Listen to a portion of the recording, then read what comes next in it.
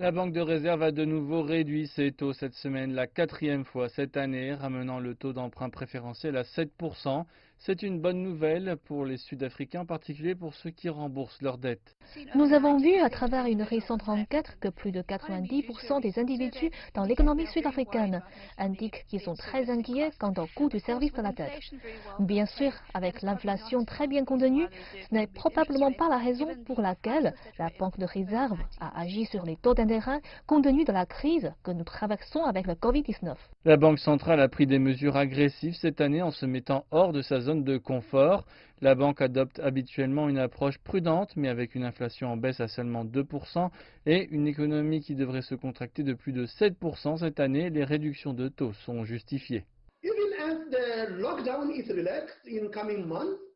Même si le confinement est assoupli dans les prochains mois, pour l'ensemble de l'année, les exportations et les importations d'investissement devraient fortement diminuer. On s'attend également à ce que les pertes d'emplois augmentent encore.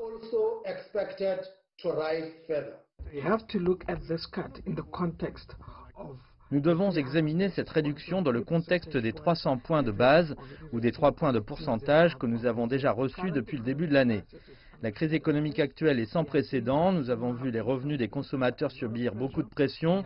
Nous constatons que les pertes d'emplois sont élevées et ceux qui ont des dettes ont vraiment des difficultés avec les conditions économiques très difficiles.